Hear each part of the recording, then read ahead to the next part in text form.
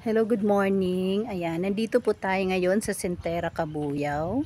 So, papakita ko lang po sa inyo itong ah, clubhouse nila ng Phase 1. Ayan, ito po yung clubhouse nila dito sa ah, Sentera. Then, ito naman yung kanilang basketball court. Ayan. Phase 1 po ito. Ang available na lang po kasi dito sa Phase 1 ay isang RFO and maka-reserve na namin ngayon. So, Phase 2 na lang talaga yung available. So, ito yung basketball court nila and ah, playground na rin ng mga bata. Ayan, nakikita nyo po may playground na rin. Ayan. Ito. Ayan.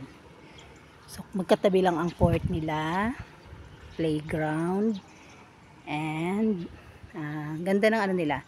Ang ganda ng kanilang clubhouse. So, ito yung surrounding ng phase 1. Ito ay block 2. So, maganda ang kanilang lugar. So, ito po. Ganda ng kanilang clubhouse. Ang linis. Malaki. Hmm, ganda. Yan. Malawak. Green na green. Then doon na yung gate. So, ang ganda. May mga community na dito sa phase 1.